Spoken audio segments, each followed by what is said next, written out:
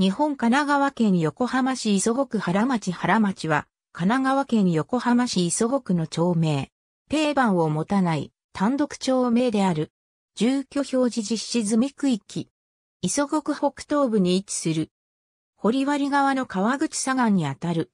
北で下町、東で西町、南で大鳥町、西で堀割川をまたいで、磯子、中浜町、北西の磯子橋東詰の道路上の一点で、滝頭と接する。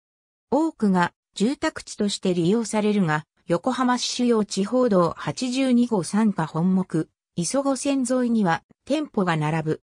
本目通りより南側は埋め立て地であり、家畜検疫所や横浜プールセンターなどとして利用される。2021年7月31日現在の世帯数と人口は以下の通りである。国勢調査による人口の推移。国勢調査による世帯数の推移。私立小中学校に通う場合、学区は以下の通りとなる。2016年現在の経済センサス調査による事業所数と従業員数は以下の通りである。JR 東日本根岸線が町域南部を通るが、駅は設置されていない。根岸駅が最寄り駅となり、バス便も通っている。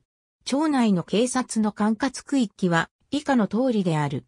テレビ朝日の気候番組、ちい散歩で、ちい竹雄が、八幡橋八幡神社、藤屋牛肉店を訪問した。根岸編、2011年9月放送。ありがとうございます。